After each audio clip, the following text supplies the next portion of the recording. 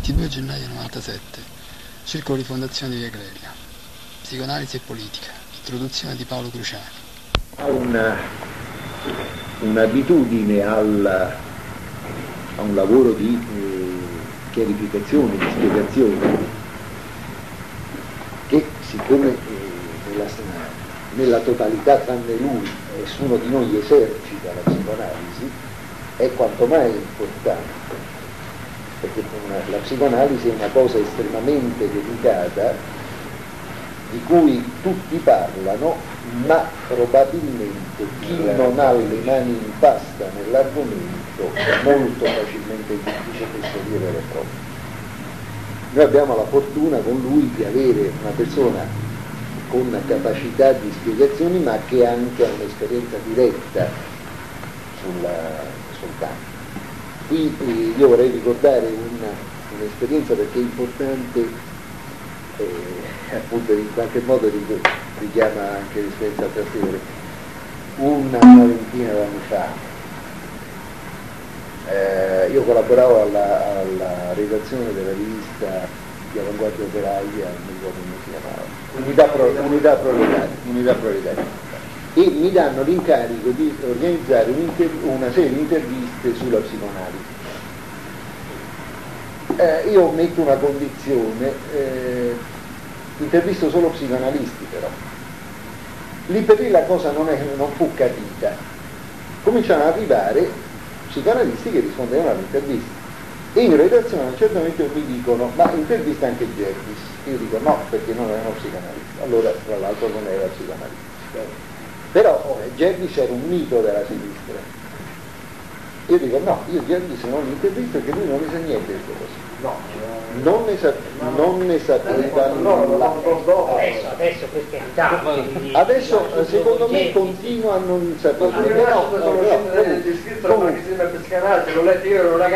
Comunque il, fu interessante che la eh, risposta redazionale fu questa in quanto militante del movimento lui sicuramente è autorizzato a parlare dell'inconscio, che mi pare una, una delle manifestazioni appunto dell'aberrazione di quel tipo di ideologia.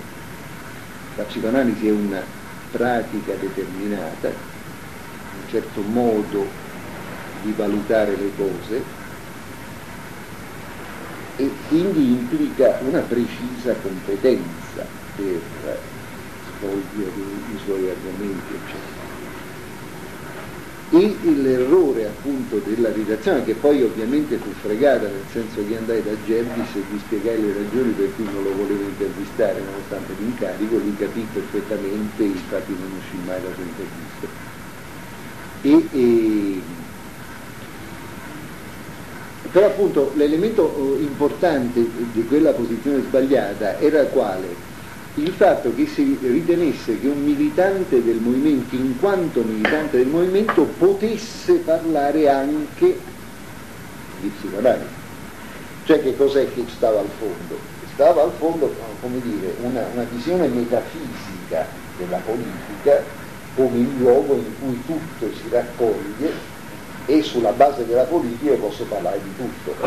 Invece se tu introduci il criterio, no, di psicoanalisi parla lo psicoanalista, cominci a rompere questa totalità no, omogenea e comincia a chiarire che la politica in senso proprio è una dimensione d'esperienza, non tutta l'esperienza.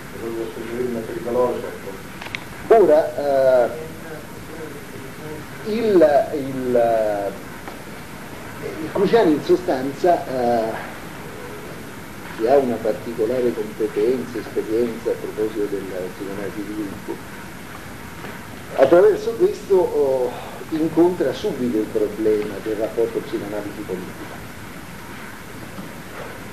E allora eh, la cosa importante è appunto vedere come si possano affrontare delle situazioni che per loro natura facilmente si prestano all'interpretazione politica vedendole sotto un, un vertice diverso, non competitivo rispetto a quello positivo, ma che ha un altro.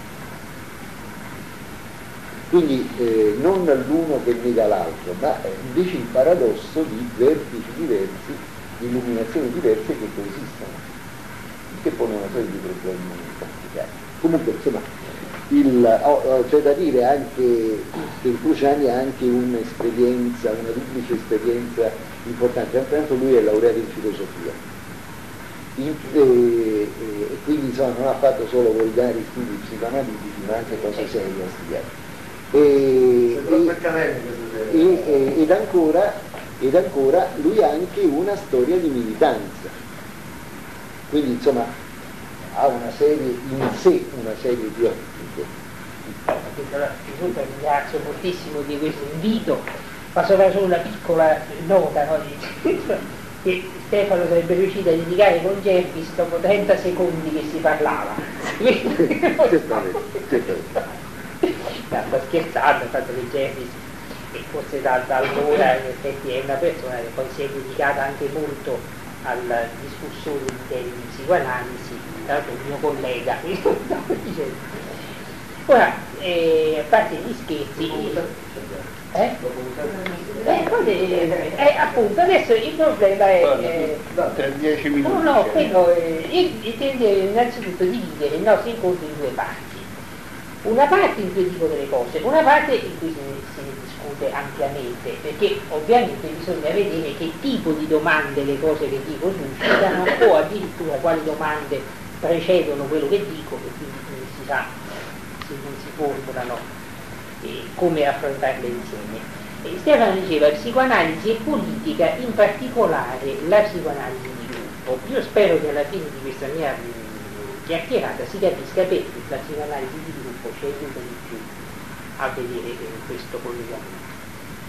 Io direi che prima di dire psicoanalisi e politica sarebbe interessante dire psicologia e politica, perché mm, nella prospettiva che Stefano stava delineando noi andiamo alla ricerca di ambiti particolari che ritagliano un oggetto e dei metodi che riguardano questo oggetto.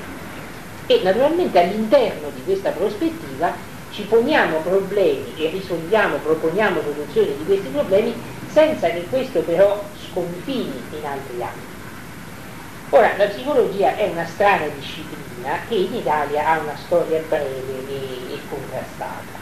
Come sapete, uno dei più diretti nemici della psicologia era la tradizione idealistica, la tradizione gentiliana, che non riconosceva la psicologia alcun tipo di legittimità come riconosceva. E naturalmente questo ha portato un po' uno, come uno sfondo nella nostra cultura di diffidenza verso questo ambito. Ora non posso evidentemente rifare la storia di questo conflitto, di come è venuto poi. Propongo un'immagine, anche che ci propongo un'immagine molto semplice chiamiamo mh, mm, ambito della psicologia quell'ambito che confina tra da un lato i fenomeni fisiologici, la neurologia, le neuroscienze, dall'altro le scienze sociali. In che senso confina con questi due ambiti disciplinari? Nel senso che eh, un certo tipo di risposte, un certo tipo di comportamenti che un essere umano mette in atto non sono pienamente spiegabili a un certo punto né con l'ambito fisiologico né con l'ambito studiato dalle scienze sociali.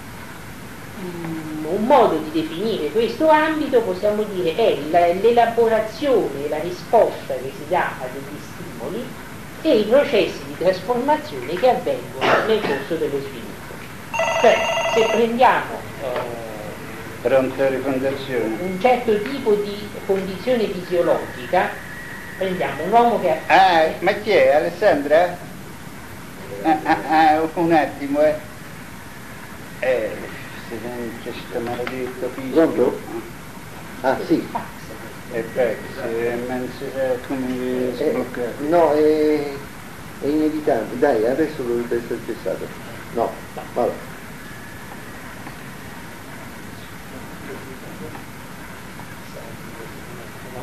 Sì.